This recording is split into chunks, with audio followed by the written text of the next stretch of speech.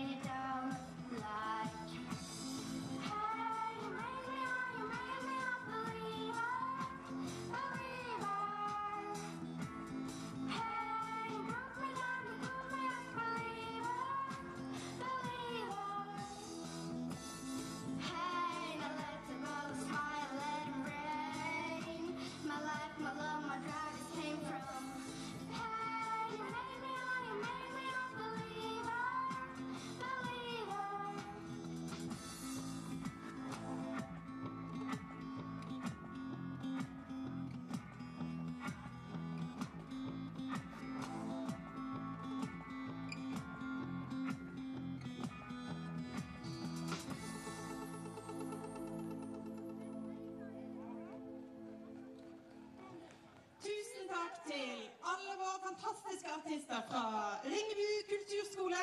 Men nå tilbake til Paddock. Alle må gjetes tilbake. For la oss gi våre fantastiske unge utøvere en like god opplevelse her som de som kjørte tidligere i dag.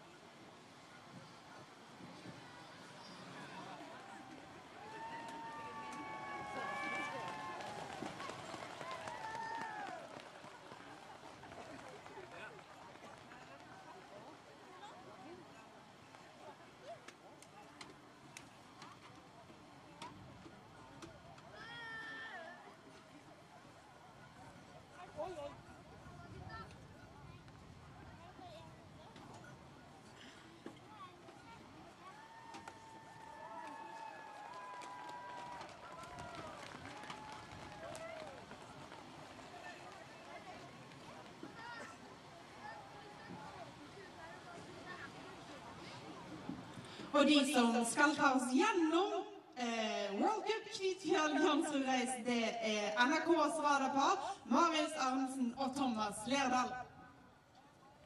Ja, Det var veldig gledelig, da. Altså, Vi har jo sittet her og sett at jentene har kasta seg ut i det. Så det er jo herlig at den nye generasjonen den var så ivrig at midt under kulturinnslaget så var det hele i gang. Så jentene fra andre klasse de har jo allerede kjørt med, med flere der. Og så har vi kommet inn i da jenter-uni-klassen her, da, med Aida Sjenko er jo da fra Gjøvik eh, skiklubb. Og dette er jo en slags løype som er på slutten her, hvor det bare er å hive seg inn i hockey og finne raskeste veien fra start til mål. dette her sannsynligvis litt grann i god også. Det er tremenningen til Karstoets vi faktisk ser feien i målområdet i bånn av bakken her. Det går fort i svingene, da. Vi dundrer på i eh, tur og orden her.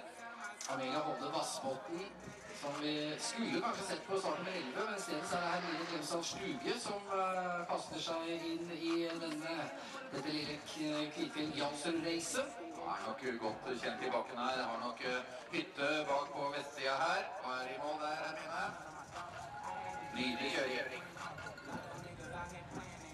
Rælingen eh, skiklubb har eh, Sara Kalland Barkenes eh, på start i dag. Starter med 13 og først ut i jenter under 10-år-klassen. Har funnet en veldig fin linje.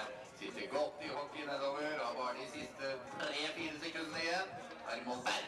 Kjempebra kjørt. Iveren i starten var jeg så at det var liksom ikke snakk om å vente på at musikkinnslaget var i boks engang. Her var det bare å stupe i det oppe fra start. Frida Jørgensen Nordli hun eh, gjør det samme. Det er jo mer eller mindre lokal, da. Havfjell alpin. Ja, sitter fint i hockey og er over mål der. Bra kjørt.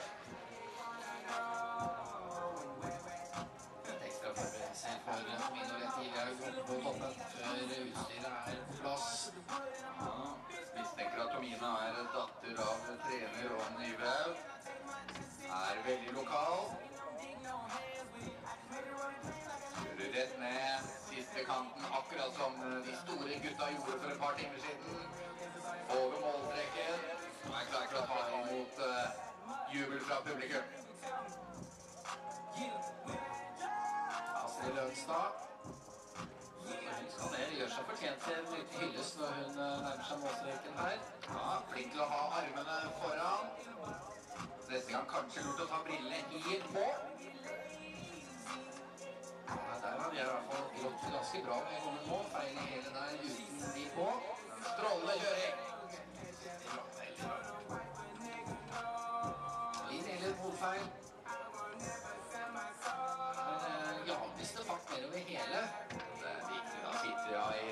Aerodynamisk. Albuene foran knærne. Det er bra. Syns farten var litt stor der, men slipper på inn mot mål. Så får nye kjører her, da, fra Lillehammer skiklubb. Maiken eh, Oi, der gjorde vi eh, nytt hopp over igjen. Ser at det er lille Storheie Myhren som uh, isteden er i gang.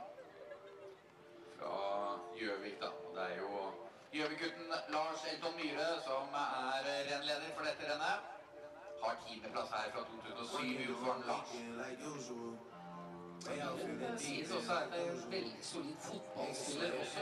til at han er veldig ivrig på. Veldig god innsats. Nå skal vi over i eh, gutteklassen. Begynner med Victor Moen. Det har sett ut som det var bare helt mye selvtillit på onsdag. Skal klare på Ja, da. ikke sånn.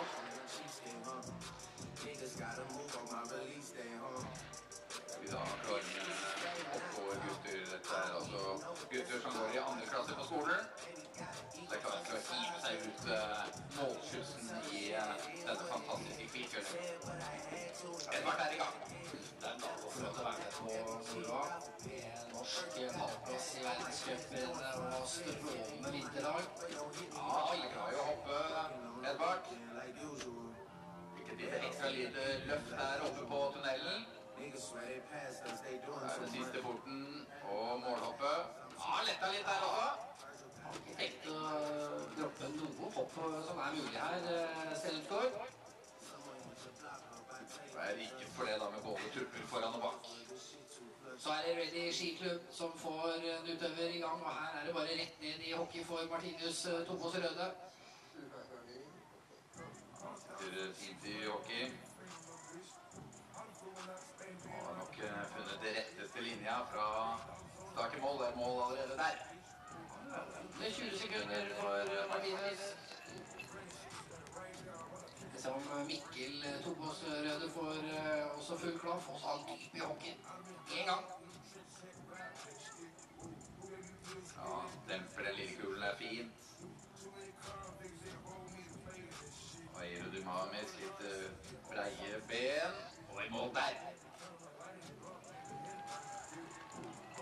Bra kjøring, og gutta boys er veldig jevne, da. Herlig publikum også som tar imot gutta på vei ned der. Harald Førde kjører for Gjøvik skiklubb. Ja, fin stil og slipper seg på nedover. 20 meter igjen til mål og passerer streken der. Bravo, bra kjøring.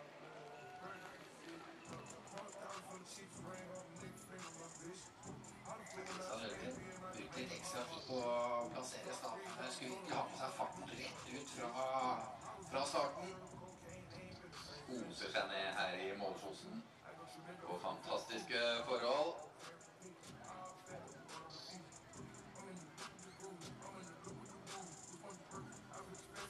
Ja, og jobber seg inn mot mål. Ja, applaus. Bra jobba, Kristian. Bruke denne arenaen til når alt ligger til rette da, at barna får seg en uh, liten runde og får kjørt her. Ny løper på gang. Fredrik Widholm Veen virka veldig giri ut fra starten.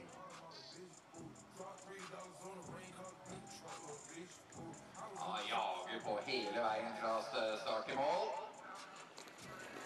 Også fra Lillehammer skiklubb det samme med Aksel Håvind Sperstad. Han svingteknikk med en gang. Ja, gjør det.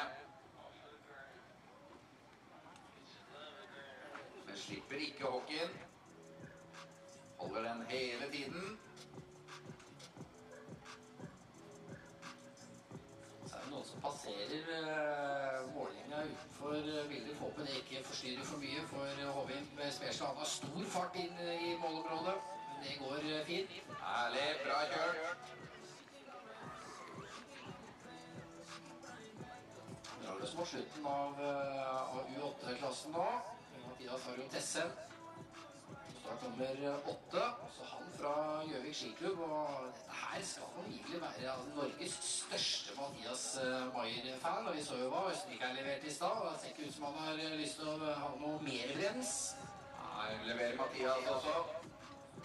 Det er dag Mathias-dagen i dag. Mathias Maier. Navnebrødrene viser seg sterke.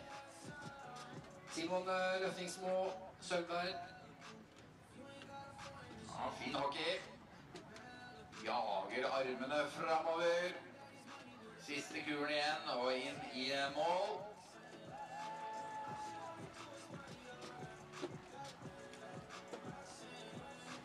Og utnytter hele målgården og er inne der. Og bra kjørt. Jonas Rødvik hadde ikke tid til å vente oppe på toppen. Han uh, stuper ut som førstemann i, eh, i U9-klassen. Hemmingkjøreren inne der. Ja, kjører valgt en linje litt lenger til venstre i bakken enn eh, de andre til eh, nå. Har eh, sett på løypa først for å bestemme seg for linje. Ny løper ut. Vi snakker med Ludvig Valvik eh, Bakken. Tessan IL.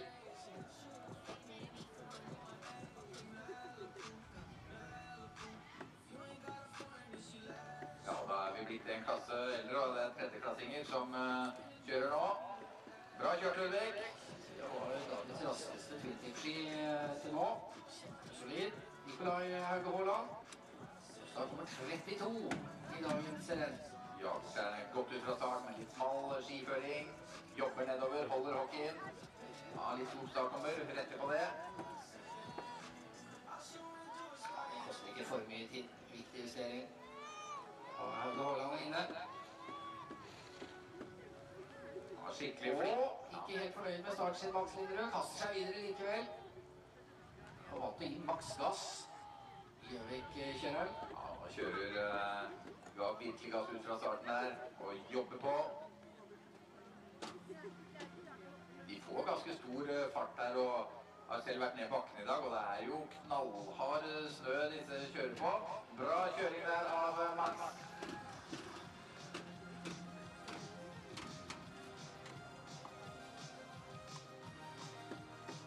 Ja, Torjus eh, Harrestad Elvestad kommet godt i gang over tunnelet Ja.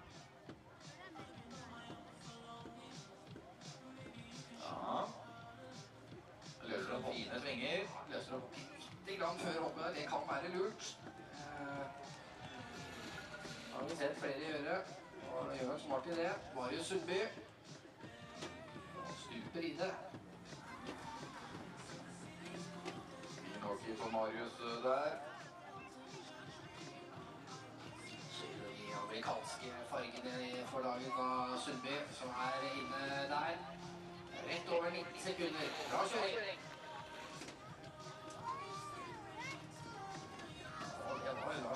Skurdal der. Han har nok sett Alexander Aamodt bilde ut av starthuset. Det var nok kraftfulle tak. Ja, bra kjøring, og det er herlig å se at det gror i norsk alpinsport. Mye Oppland-løpere selvfølgelig her i dag.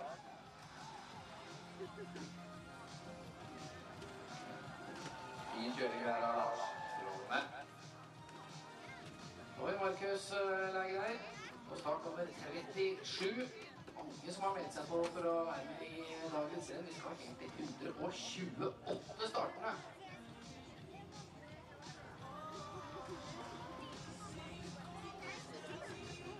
Han jobber seg nedover. Har bare noen meter igjen til eh, mål, og er i mål der, Markus. Bra kjørt i Norges tøffeste utforløype der, Markus.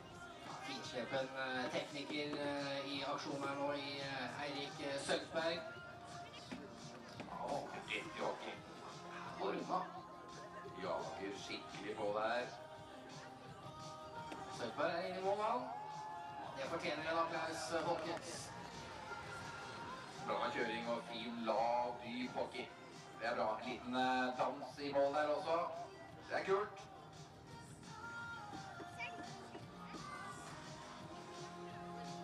Hold den nok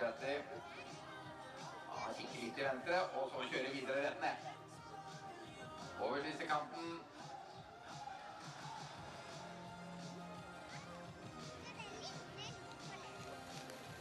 Har passert målstreken, og det er bra kjørt.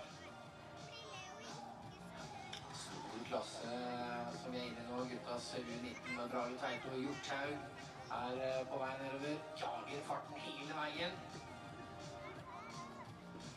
Ja, kjøring. Litt mot venstre i mål der, og jager seg inn i mål. Og det går akkurat bra.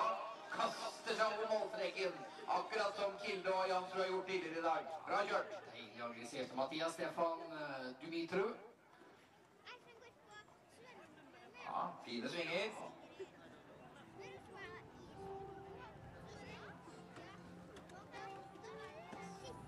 Det er ikke mye brems her.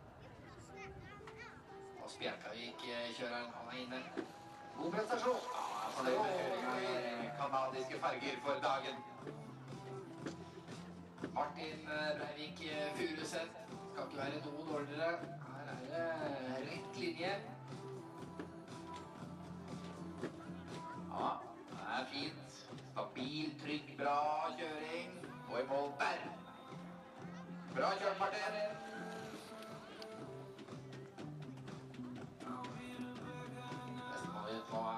Johannes eh, Høyer eh, Farstad fra Lillehammer eh, skiklubb. Stor gjeng fra Lillehammer her i dag.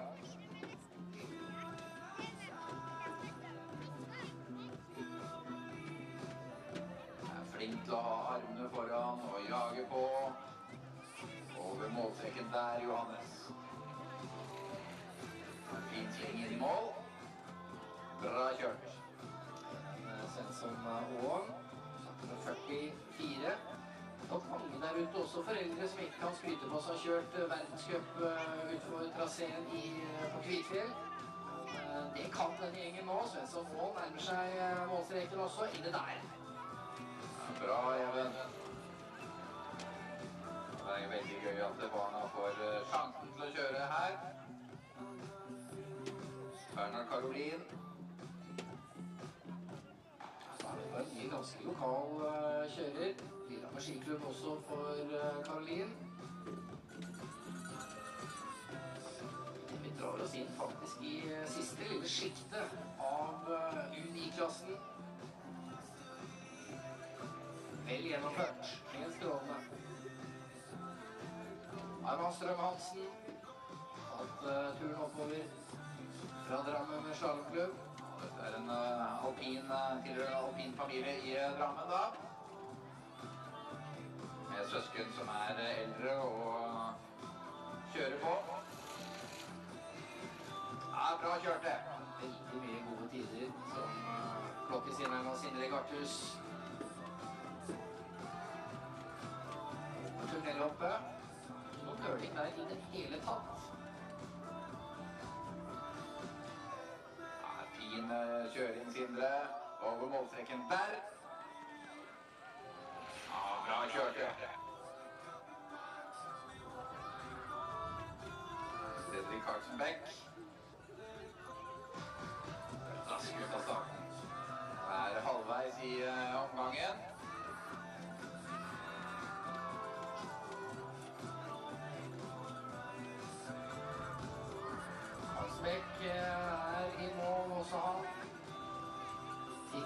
Seg. Opp på tavla, akkurat som uh, verdenscupkjørerne. Jonas Håvim uh, Sperstad. Hvilke 30 kjørere så langt i konkurransen. Ja. Fine svinger fra Jonas før den siste kanten og kaster seg over målstreken.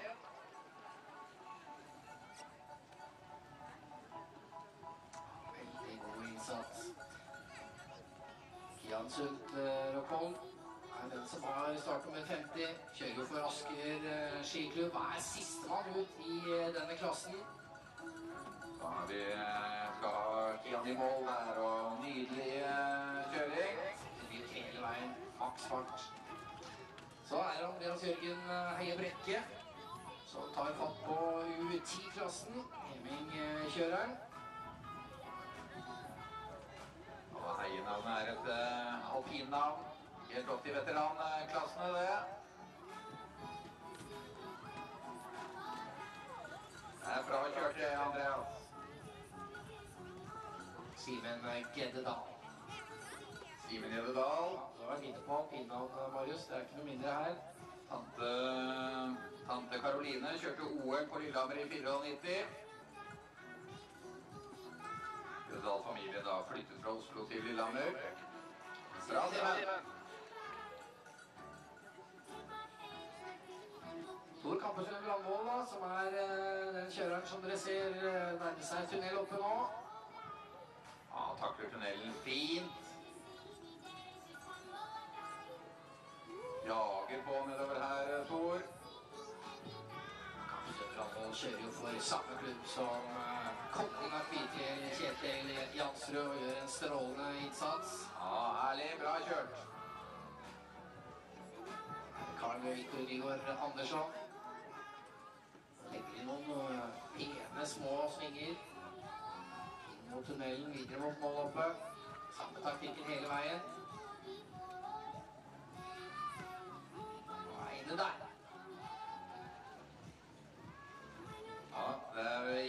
Veldig bra kjørt. Da har vi Jesper eh, Odnesen, som kjører mye konkurranser. Han jager skikkelig på nedover her, eh, Jesper. Bred og stabil skiføring og i mål der. Bra kjørt, Jesper. To mann klare nå fra Gjøvik skiklubb. Først ut av dem så er Olav eh, Førde. svarer ikke på mye med her, han. Fått en fin linje midt i eh, traseen, det er lurt. Der er snøen hardest og best og kommer ikke noe nysnø. Jager på inn mot mål. Bra kjørt, Olav. Kamerat Melvin eh, Kors Tesse. Fryktelig aktiv også både på fotballbanen og håndballbanen og tar stadig mye eh, steg på skia også. Det starter med bare pisker av gårde på vei mot uh, mål. Og der er han inne. Veldig god innsats. Bra, Melvin. William Lindholm med D1. Lite skreds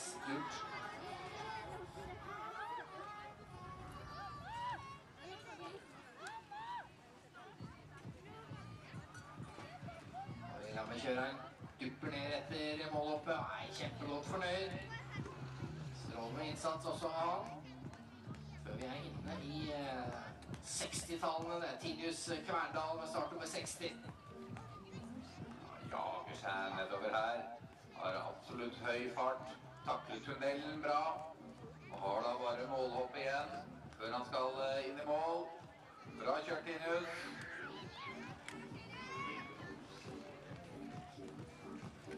Skylaget siger litt inn her nå. Litt dårligere lys. Nok en liten utfordring som man må håndtere oppover her. Gustav eh, Morstad Villar. Ikke som eh, lar seg prege av det. Vi er ikke så langt oppe i fjellet, så jeg tror lyset skal holde ganske bra for hele gjengen. Veldig godt. Og Gustav i mål der. Bra kjørt. Så sponset av samme hovedsponsor som Marcel Hinscher i sin eh, tid. Det lover godt. Østen Bråklingen. Håndterer han veldig fint. Ja, kjører flotte svinger.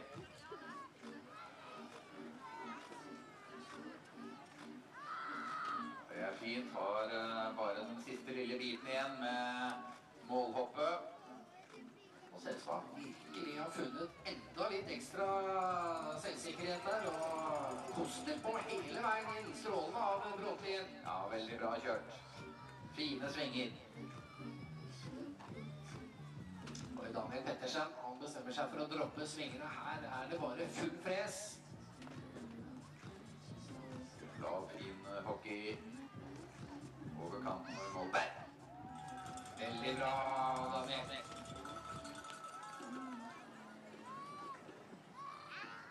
William Kleverud. Og vi er fremme ved her. Gjøvik eh, skiklubb. Fint stiv på William. Solen har kommet tilbake over uh, målhoppet. Kleverud er jo et eh, idrettstalent. Kjørte på ski for første gang i fjor. Og leverer virkelig her i verdenscuptraseen eh, på Kvitfjell. Victor eh, Hugo Sivle.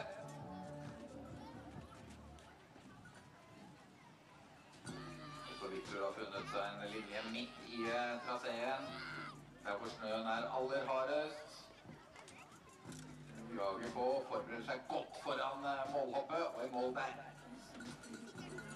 Veldig bra jobba av eh, Victor. Så er det starter med 66 her. Det er Kasper Elton Myhre. Det er da sønnen til rennleder Lars Elton Myhre. Pappa prøvde seg i bakken her. Det ble med en tiendeplass i utform. Det er omtrent på dagen 13 år eh, siden. Nå er det veslegutt som er eh, lynrask ned eh, bakken. Det er bra kjørt, Kasper. Så er fra Rælingen skiklubb Max. Og slett linje hele veien.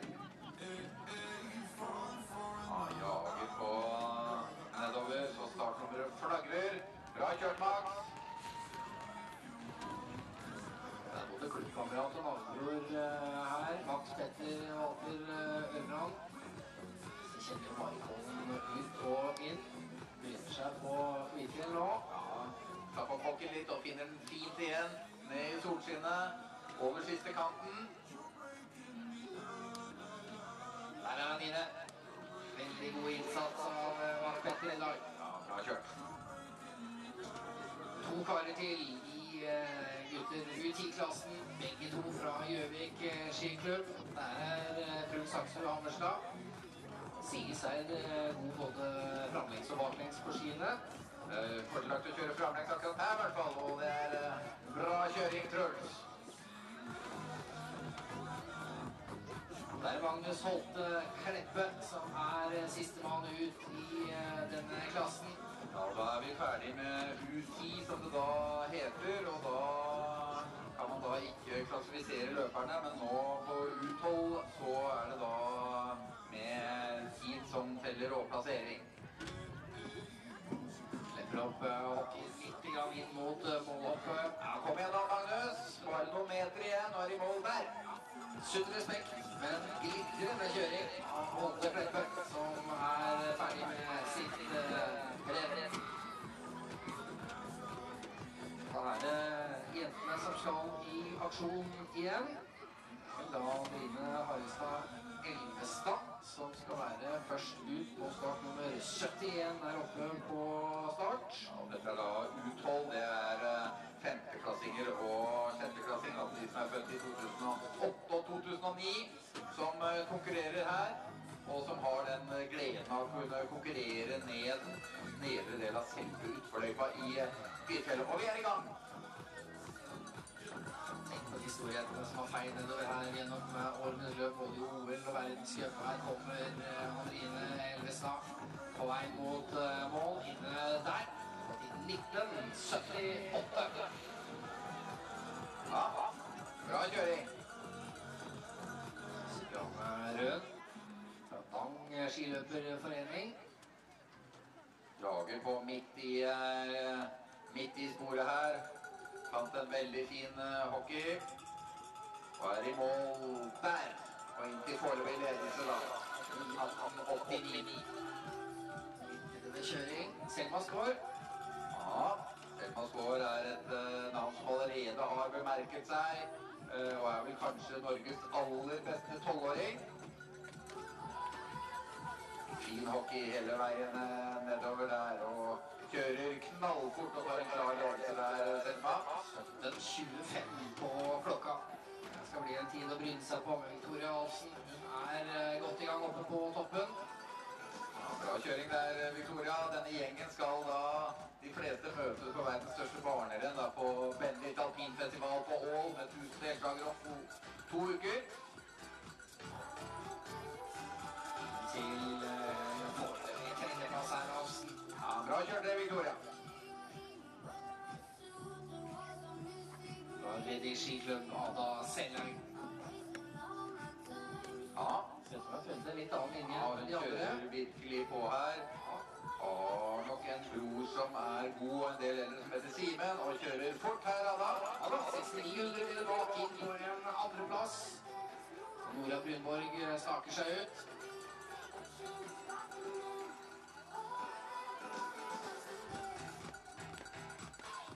Ja, bra kjøring der, Nordahl. Dette er ikke noe vanlig øvelse for eh, disse som kjører. Jeg er jo vant til å kjøre mye slalåm og storslalåm og litt grann super-G i løpet av året, så får lov til å slippe seg ut utfor. Det er jo bare herlig å se. Bra kjøring der. Ja, Pernille Nord.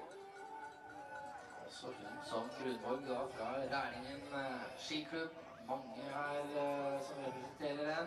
Da er nok da lillesøster til Kristoffer Nord som eh, representerte Norge og vant på internasjonale barnerenn da i eh, Pokaloka for et par uker siden. Bra kjørt, Pernille. Sofie Lomsdal finner hockeyen veldig raskt eh, der oppe. Brenner ned over tunnelhoppet. Vi til å legge inn så mye som en liten brems her. Jager på armene fint foran, over siste kanten og i mål der. På 1895. Veldig bra. Det er foreløpig fjerdeplass. Einar Krokstad fra den lokale Per Gynt alpinklubb. Så kjenner hun uh, denne bakken uh, hakket bedre enn uh, dagens konkurrenter. Ja, ser sånn ut. Kjører fint nedover her, Engla, og er i mål der Får under 20 sekunder. 1984. Ida Svensson og Det er skikkelig tøffe jenter vi ser her nå, folkens. Og vi jager på i uh, hockey i Norges eh, tøffeste utforløype.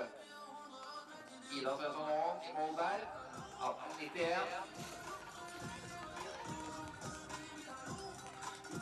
Og her er det noen som kan bryne seg på Selma Skaar. Hun som eh, ligger øverst eh, fortsatt, foran Selheim og Rom. Her kommer Kongsberg-løperen Katrine Slåtta Guttormsen. Det er et stort alpinmiljø blant unge jenter i 10-11-årsklassen og 12-årsklassen på Kongsberg. Bra kjørt, Katrine. Julie Kristine Oldervik eh, Amundsen. Hockey litt grann nå, litt grann på linja si. Men finner en fin linje videre der. Stabilt og godt, Julie Kristine. Det er bra. Justeringen er der oppe. Eh, Ett over 20 sekunder. Foreløpig 11. plass. Maria Vårnes eh, bakter. Ja, kjører fint. Sitter jo i albuene foran. Lager på. Forbereder seg litt for den siste kanten. Og i mål der. Bra, Maria. Omtales som et godt treningstalent, veldig aktiv i flere idretter. Har virkelig levert også på Kvitfjell foran Mariell Pettersen. Og starter med 84. Ja, jager seg fint nedover. Men nå, Mariell, det er bare siste meteren igjen. Ja, det er mål der. Vi på siste biten. 20,84. Tiden klar for Helene Bøhn Busterud. På start nummer eh, 85. Fra Vang skiløperforening. Samme klubb som tidligere kjøre Audun Grønvoll. Jager får fint her, Helene. Ja, er det noen som kan hamle opp med Selma Skåla? Ja, det er under 19 sekunder inn til tredje beste tid. Ja, det er meget eh, bra kjørt. Det er jo veldig jevnt her mellom jentene. Dere er skikkelig tøffe, altså, som tør å kaste dere ut her og sitte i hockey hele veien fra start til mål. Signe Kristina Eriksen. Jager på. På her er under 20 sekunder. Strålende. 2,5 sekunder bak, bare. Så er det Lea Einemo.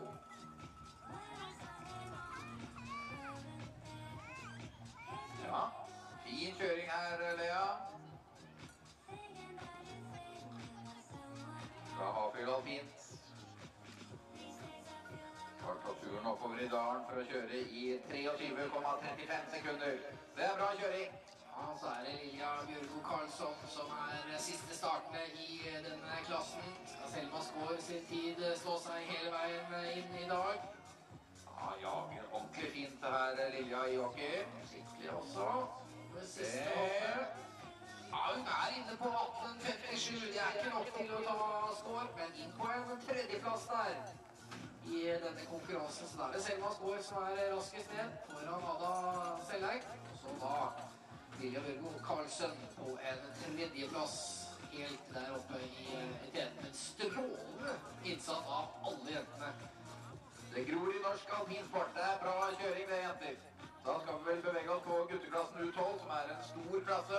Ja, jeg lov å drømme om at den kanskje er like tett og spennende som uh, jentene sin konkurranse. og Fylt med god kjøring. Aks Aksel Espelid Blankholm er i hvert fall første startende.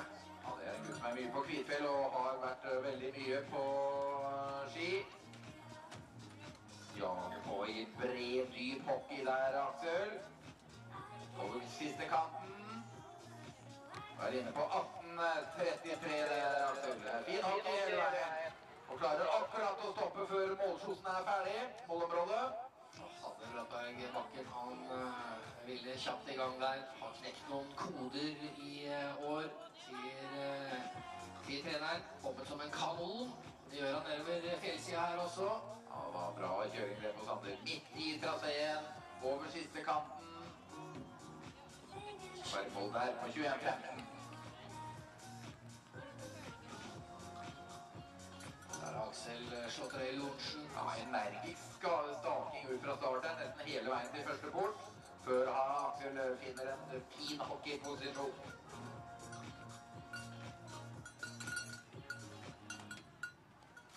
Den 13, det er ny bestetid for dagen da vi har har tittet opp mot eh, grønne tider. Mikkel Vassmarken Norskog. Ja da, fra Krøtran ved Norefjell. Fint i hockey der, eh, Mikkel. Midt i linja, kjører på. Og er i mål der på 1890. Han mener det holder til en foreløpig tredjeplass. Det er bra kjørt, Mikkel. Gaska. Start nummer 96. Da er vi på Aron Sportsklubb. Det er vel mest er det første representant vi har fra Aron. eh, Ja, vi har hatt den tidligere. Dette er altså Aron i Drammen. Og Daniel eh, klinker til i hockey nedover og kjører fort. Og inn på klart beste tid av Daniel 17.72. Bra fartspotensial der, eh, Daniel.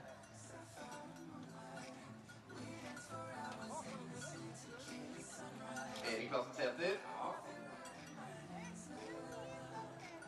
Ja, Ja, smal, fin skiføring. Jobber ned en blå en hvit binding. Kjører på og jager seg inn mot uh, mål her, Eirik.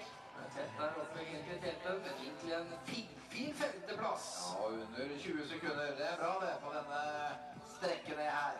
Sebastian få på oss eh, røde.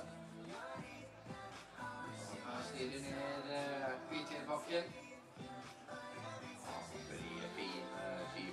lav hockey. Og skal nok være en av de raskeste her. Ja da. Ja, inn til etter en bak. Ja, prøver å sprute på publikum som står bak der. Bra kjørt. Her er Oliver Giverhaug. Start nummer 99. Ja, en fin eh, kjøring. 17, 18, 19, 02 der på Erleik. Det er bra kjørt. Det begynner å tette seg til i toppen her nå. Altså, ordentlig god kjøring av gutta. Thomas Lundgaard Kristiansen på start nummer 100 førstemann med tre siffer på brystet. Kanskje er kompakt. Er kompakt og fin og lett å kjenne igjen oppe i bakken her. Over siste kanten. Og i mål der på 21,74. Eh, Strålmann starta jo på ski denne sesongen, eh, Kristiansen, og er veldig ivrig. Nå er det Jesper Vasbakken Nordskog, han fra Krødsherad. Ja, det er riktig, og da tvillingbror til Mikkel som akkurat har kjørt. Det pleier å være gode brødrefighter der. Ja, har broren sin på femteplass og går inn der eh, på en eh, ny femteplass. Rett inn foran. Ja, Jesper foran Mikkel denne gangen. Bra kjørt, Jesper. Samuel eh, La fra Lillehammer skiklubb. Og ny pokker der. Ja. Aerodynamisk og fin. Tiden da, ja, fjerdeplass. 49 hundredeler bak. Ja, er veldig jevnt i denne klassen, da, som eh, Daniel Gaska fra Aron som leder. Håvard Kalland Barknes har spart ikke på noen ting ut fra toppen. Ordentlig kraftfull ut der, så har mest mulig fart tidligst mulig. Hvordan det betaler seg. 1772, dagens raskeste ned der. Det blir akkurat bak på en foreløpig tredjeplass. 28 hundredeler bak. Bra kjørt. Ja, foreløpig pallplass, da. Ja. Simon Riise Langro. Så han har kommet godt i gang og finner hockeyen bra. Bare slippe seg nedover fjellsiden. Og i mål der på 1966. Det er bra, det. Under 20 sekunder. Fra Kjelsås alpint eh, her. Start nummer 106. Emil Breivik eh, Furuseth. Ja, fin kjøring. Sitter godt i hockey. Demper den kulen litt, det er lurt. Og er i mål der, Emil. Nå er det fryktelig tett oppe i eh, toppen. Olav Simonsen skal prøve å melde seg på. Ja, jager på ut fra start her, eh, Simonsen. Fra Jan, eh, alpinklubb i Oslo. Ja, sitter fint i hockey. Schwung over fargene på Simonsen, som er inne til en niendeplass her. Veldig bra gjennomført. Så det Jonsrud Brekke, men dette er, er ikke dette Zakarias Bart eh, Dorningstad som eh, kjører her. Nei, det er ikke. Det er Kasper Jonsrud Brekke, vet du. Ja, det er det. Starter med ni. Og er snart i mål og kommer i mål der på 17.76. Og det var Akkurat som Kjetil André Aamodt var bak Tommy Moe i 1994. 400 deler. Ikke tett da, som nå. Ole Morten Tårnby Brønstad. Og 110. Så Brekke, så kjører han for Vang skiløperforening er inne til en foreløpig femteplass. 37 eller hva. Her er sånn sild i tønne der oppe i, i toppen nå. Her er det veldig jevnt og viktig å få en god start og få med seg farta ut, sånn som de norske største rågutta er gode på. Og en god, bra hockey her fra Nikolai Blakke Rønningen fra Reddy. Brett i hockey velger å kjøre litt lenger til venstre enn de andre innom mål, og er inne på en uh, foreløpig fjerdeplass. 28 hundredeler bak. Bra kjørt, Nikolai. 28, 28, 37, 41, 44. Det er eh, helt eh, tett i tett i tett. Christian Andersen Eriksen, nestemann ut. Ja, Jagerblå prøver å søke fart her. Ned over siste kanten, og er inne på 18.32. Det er så jevnt, så jevnt. William Bernemoes baktil. Ja, aktivitet, friidretten og langrenn og turn ved siden av uh, alpinten. Vi ser på klokka her, 17, kommer opp ved 18. Ja, veldig god kjøring. Eh, det blir da 96 hundredeler til slutt. Men veldig bra, William. Bra kjørt. Veldig, veldig bra. Oliver Engen fra ammunisjonsbygda Raufoss. Og kommer seg godt ned i hockeyen. Lite utslag der, men finner tilbake til hockeyen. Synes han var raskt tilbake der. Var det? Og Ingen er inne til en eh, foreløpig 17. Veldig god kjøring av eh, Engen. Ja, 19.11. Det er bra kjørt, det. Hugo Sinan eh, Voldfeil. Ja, lager fint i hockey over første kanten, tunnelen, og så er det da målhopp igjen. Godt foran seg her. 18.25. Ingen da 53 bak. Legger seg inn i det litt sånn Silje Tønneland. Og eh, Lakland McFarlane. Ja, kjører bra. Demper den første kampen der, Håkon. Vært ute i 17 sekunder og har bare de siste lille igjen. 19.45. Veldig bra. Magnus Lunde Rask fra Nordbygda og Løten ski. Er det noen som kan hable opp med Daniel Gaska da, på 17.72? Ja, Det har vært veldig raskt. Det er begge som er den som har vært tettest på 400 deler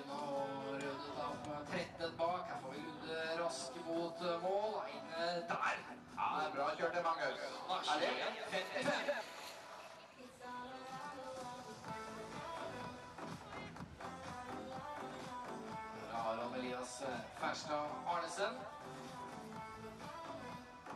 Jager på.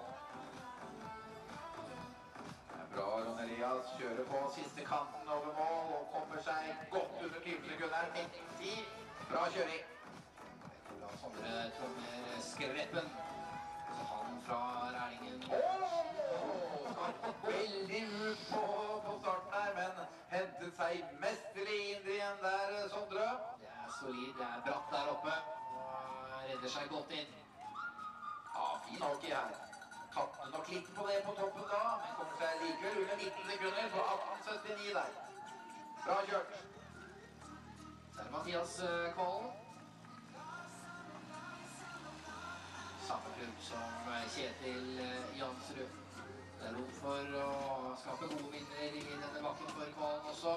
Fin skifølelse da, i likhet med Kjetil Jansrud.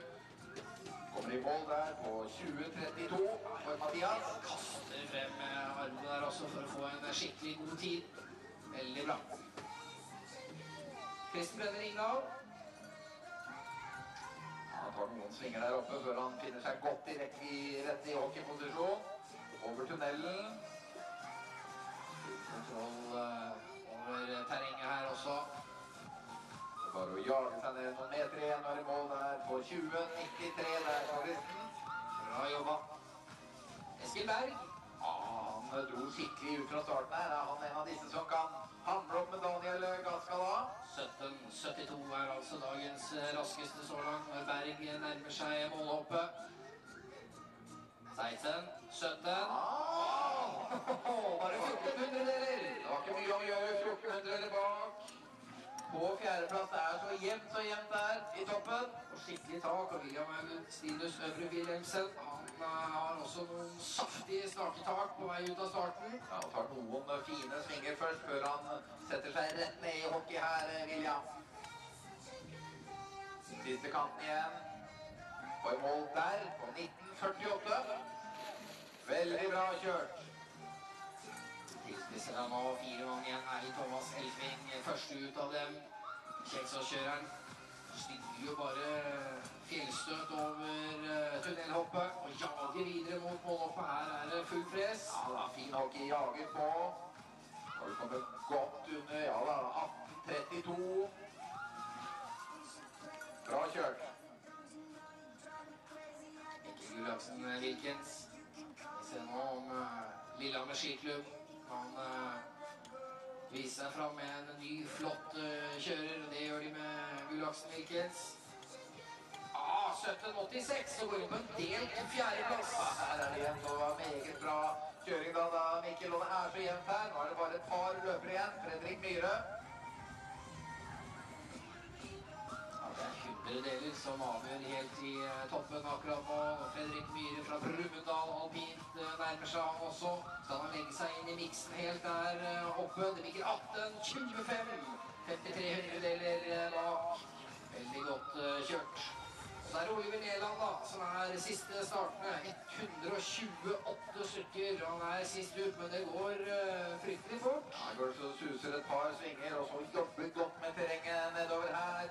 Sistemann som da har mulighet til å slå lederen Daniel Gaska. Den skal vel holde litt grann hardt. Men bra kjørt der av Oliver på 1874. Da ble det Daniel Gaska på guttesiden, da, og han står på jentesiden, som eh, lurte alle de andre ned denne tøffe fartsstrategien mot Hvitfjell. Her er det veldig lett å konkludere med at dette var fryktelig mange tøffe og gode fremtidige alpinister. Tusen takk for innsatsen til alle som eh, deltok.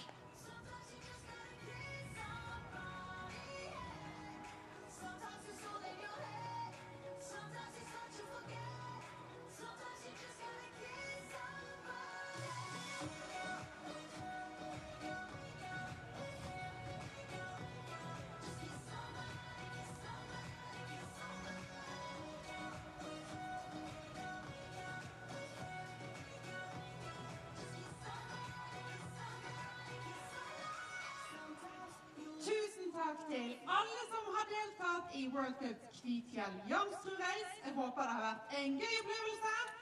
Dagen i dag er over her i bakken. Det har vært virkelig en fantastisk dag. Tusen takk til alle som har blitt her helt til slutt. Nå håper vi alle får en deilig lørdag, og i morgen er vi i gang med Super-G fra klokken 10.30. Og da er det bare å komme litt tidlig, så er vi her i arenaen sammen før det braker løs. Takk for i dag.